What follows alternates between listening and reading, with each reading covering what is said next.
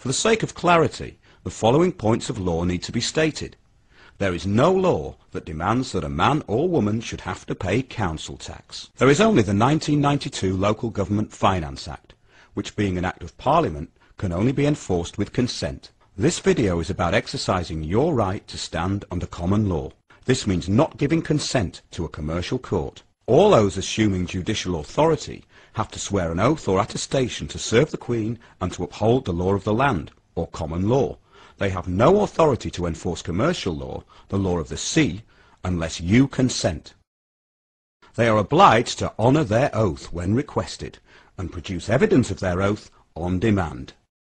If they refuse, they dishonour the Queen and her oath to uphold the law of the land, and of course those who have sought to uphold and preserve the law of the land and customs and traditions of the country.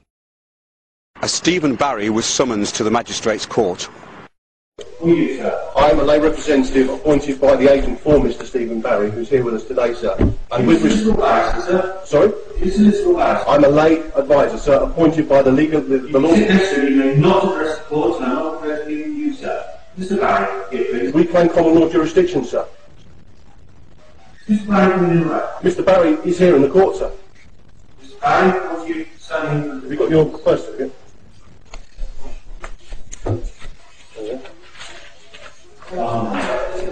Then the clerk stands up and abandons the court. This is Mr Stephen Barry, a birth certificate, a piece of paper, in full view for the clerk and court to see. Has he, the court? The clerk had abandoned the court, then returns with the magistrates.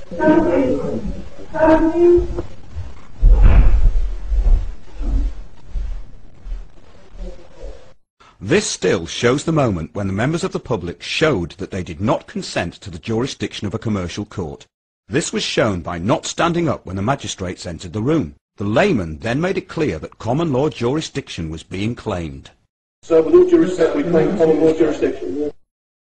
The layman repeatedly asks the magistrates if they are on oath. They do not honour their oath because they are purely there for issuing summary judgment for profit.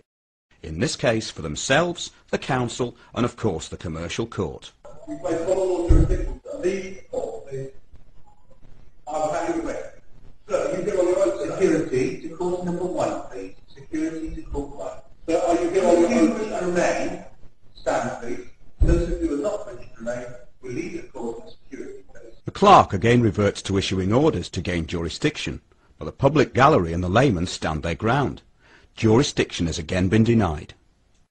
Are you get on your oath today? I, Are you get on your oath today, sir? to leave this court? are you speaking back?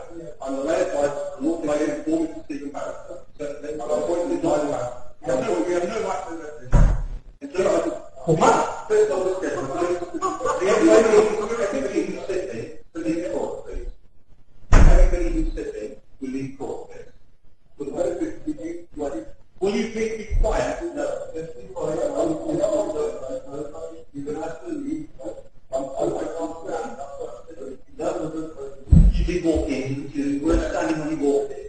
The magistrate is trying anything to get jurisdiction by assuming the layman is standing for the magistrates, which would give them jurisdiction. The clerk regains some honour by advising the magistrate the lay adviser was already standing, and standing under common law when the magistrates entered the court. Sir, so you refuse to explain your oath, madam, sir? When we'll call possible, I have your oath. We call possible. Yes, I'm not very difficult. Please do that, and then everybody else will sit there. I apologize. I'm not going to lay anything on it. The magistrate, I've ordered this man to Magistrate to abandon the court, sir. The magistrates have abandoned the court as they have not gained jurisdiction, and therefore have no authority, and neither does the clerk. I I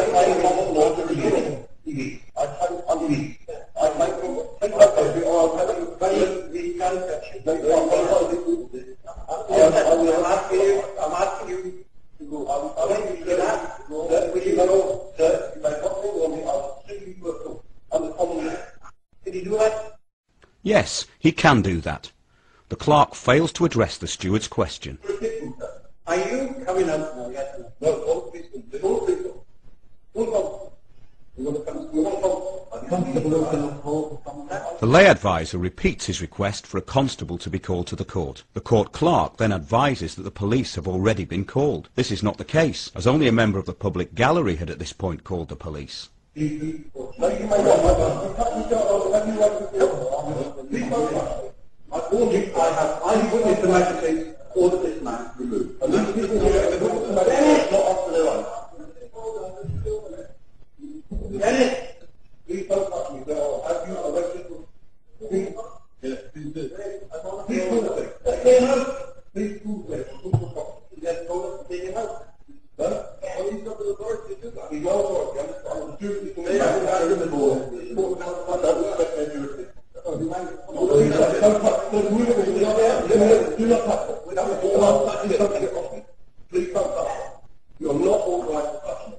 do not consent to you. Do you understand?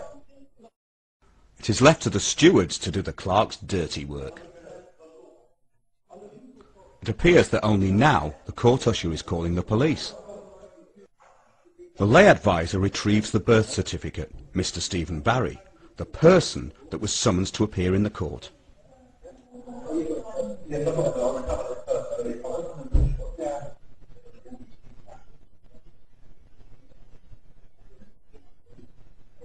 The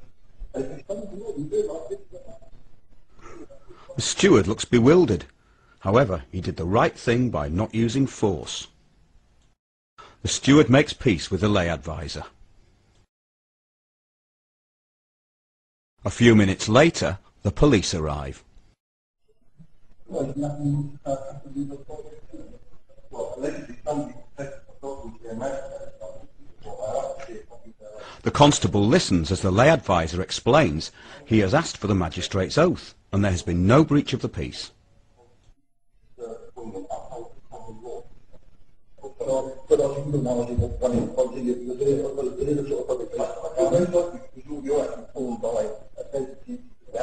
The constable has been asked by the lay adviser to honour his oath, which he does. He is now upholding the law of the land and acting as a peace officer. The constable explains the situation to his men and asks them to stand down. However, the sergeant claims that the court belongs to the magistrates, which is untrue. Yes, it is. Okay. I need to prove, and I have a lawful right under common law to prove that the person who gave that order has the lawful authority to give that order by seeing their oath. Because in order to give an order in a court of law in this country, you must have sworn an oath. In respect of you enforcing that order, because you, you would be then in breach of your right. Oh, please do so that. All the officers in yellow are sympathetic to the lay adviser and honouring their duty to uphold the law.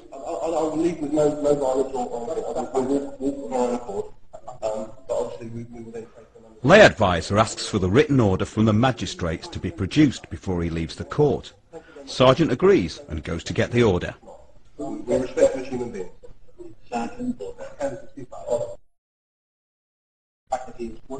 Twenty minutes later, Sergeant returns without a written order. The sergeant keeps implying that the Law Society will investigate any grievance. The sergeant returned twice more, without the written order. Mr. Stephen Barry, the legal fiction, the birth certificate, is once again produced in court for and on the record. All on the record, I placed Stephen Barry in front of the court. Okay, is anybody in this courtroom prepared to identify themselves as Stephen Barry? So Mr. Stephen Barry to the court previously. For the record and on the record, okay? There's nobody in this room now who's Stephen Barry. Would you like me to bring Mr. Stephen Barry to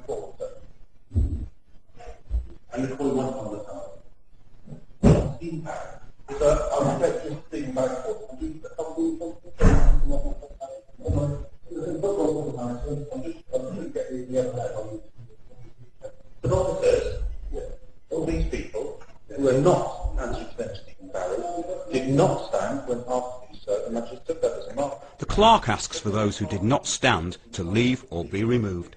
The constables honour their oaths by not responding to the clerk's orders. This is Mr. Stephen Barry. He's a legal fiction creator. You've been asked in the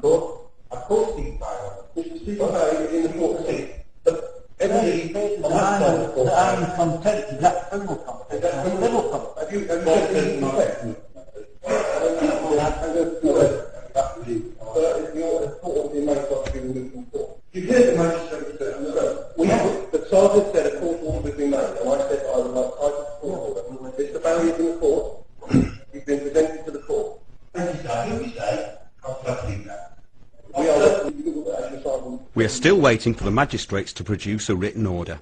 However, time is money, and the council's solicitor, although being paid a small fortune, is getting restless. Her fee has been estimated at around £450. The hearing is to establish liability for £308. I'm now recovering Mr Stephen Barry from the court. Sorry? This is Mr Stephen Barry.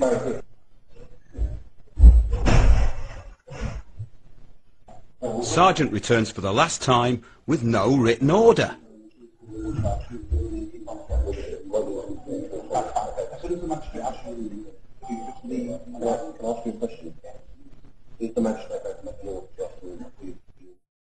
Lay advisor asks once again for a written order. Yes or no would suffice, but Sergeant is still in full-on BS mode, as there is no written order.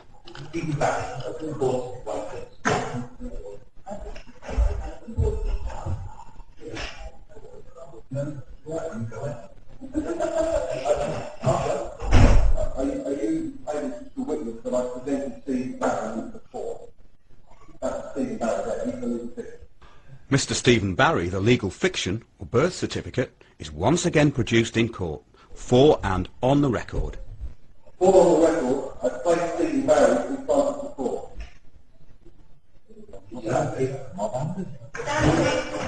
Once again, those in the public gallery, by remaining seated, deny the corporate court jurisdiction.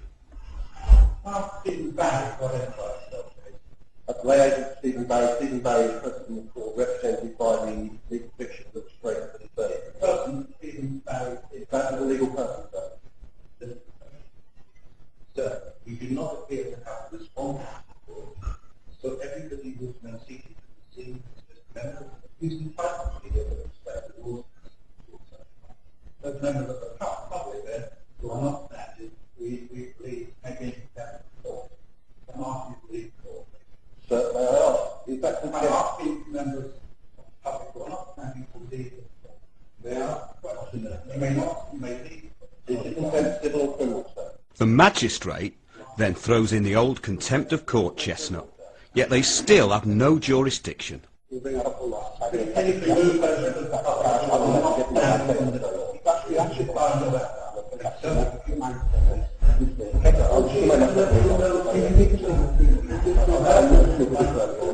You've abandoned the court.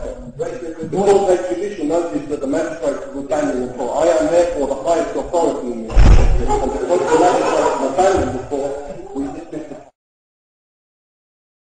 the As the magistrates have abandoned the court for the third time and have never had jurisdiction, the lay advisor informs the court he is now the highest authority and leads the lay advisors out of the court. The only jurisdiction in the court was therefore common law, and the police constables honoured their oath. Case dismissed under common law.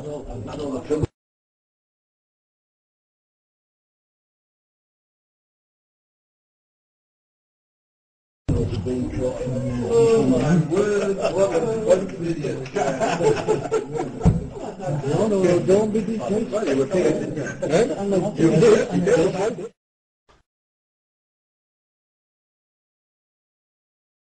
clerk and magistrates failed in all their attempts to get jurisdiction.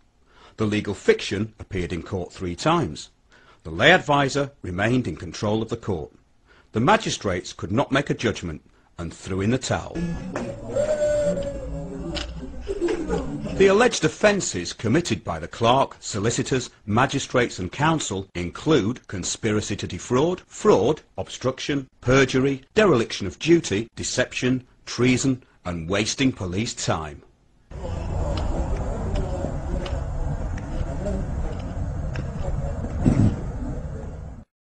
Whilst your associates informed me that you were present in court, it is unfortunate that you did not make yourself known to me or the court. Stephen Barry registered his name on arrival at court and was seen by 14 witnesses. Mr Stephen Barry, legal fiction summonsed, was presented to the court on three occasions. This too was seen by 14 witnesses and also by you watching this film. This makes the council, solicitors and magistrates' testimony spurious. And if that's not bad enough, the hearing started at 12.30 as the clerk delayed the case for two and a half hours. But the liability order was signed at 10am before the hearing. Yes, before the hearing. Judgment was passed before the case was even heard. Liability order in respect of council tax.